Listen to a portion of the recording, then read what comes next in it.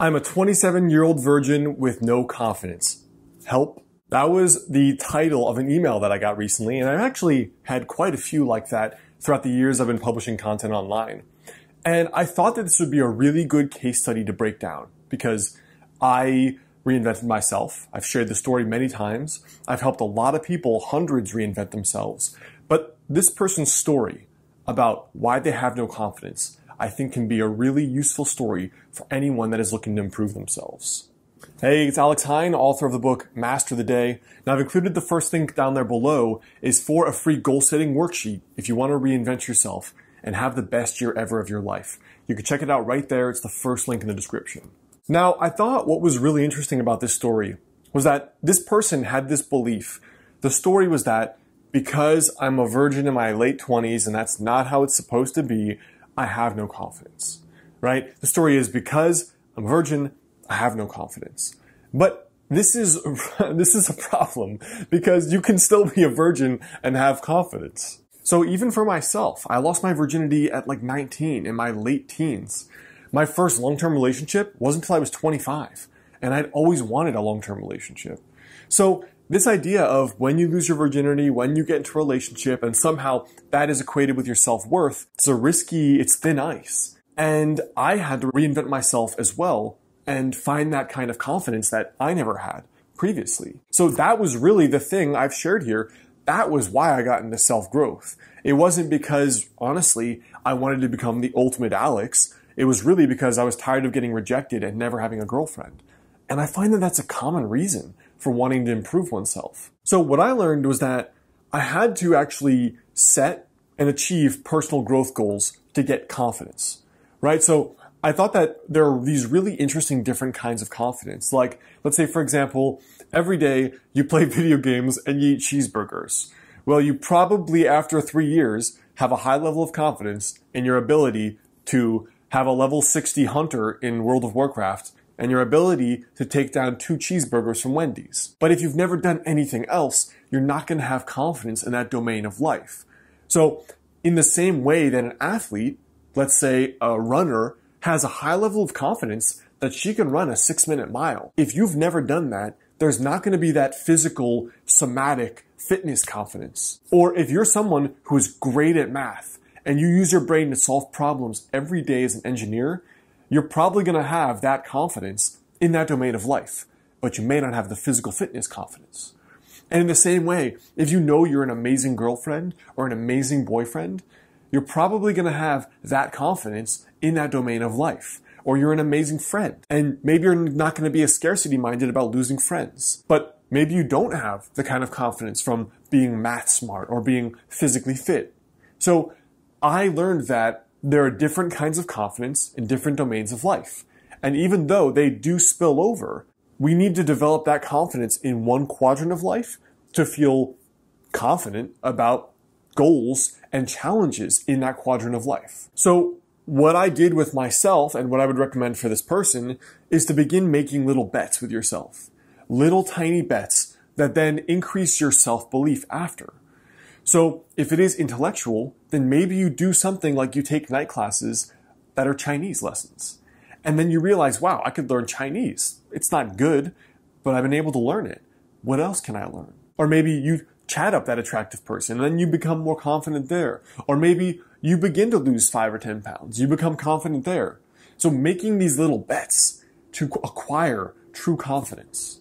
Now, the second thing would be to make your primary goal mastery, self-growth, excellence, becoming better, and not dating. So this person in the email sent me a lot of these points about they were really insecure about dating in particular, right? That was the domain of life they were most worried about.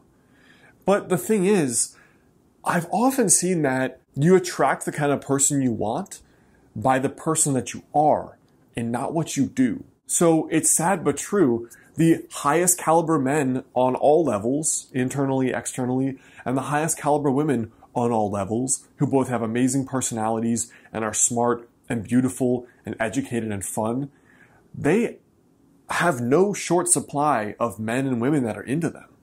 They're always getting propositioned. They're always getting hit on. And they don't have to go out and really do anything. And it's funny because so many of us are constantly chasing that. We're chasing the kind of people we want to be dating. We are chasing and looking for that love and that validation and that relationship that we want. But for so many people who have it all, they don't chase anything. So I would recommend mastery over three things. The first thing is mastery over your purpose or career. Now, if you have a career already or you have something you're passionate about, dedicating a lot more time to that to becoming truly the best at what you do. And that's going to be something that not only guides your life, but is highly attractive to other people because you're a meaning and purpose driven human. Life is good. You're on track. And if you haven't found that, dedicating time to actually finding that. The second thing is mastery over your own demons. So if there is a deep seated set of issues you have, personality issues, issues making friendships, issues with relationships, issues with just whatever it is, finances, fitness, that's the time to deal with those, whether it is alone, whether it is via journaling, whether it is via a therapist or a coach, whatever it is, this is the time to deal with that inner discord that then comes out when you're with other people. But I would say the last thing is mastery over feeling happy and content alone.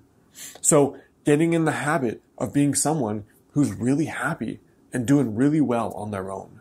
Not living by it, not like being by yourself, but being by yourself in the sense of not being in a relationship. Have tons of friends, have amazing hobbies, dedicate yourself to your chosen craft, like build a full life without that person. And then that spot for when that person comes will be natural. It will fit in like a perfect puzzle piece because you've already completed almost all of the puzzle. Life is good. The last thing is that your whole life is ahead of you. Like you're 27, you're in your late 20s, you've got your whole life to reinvent yourself.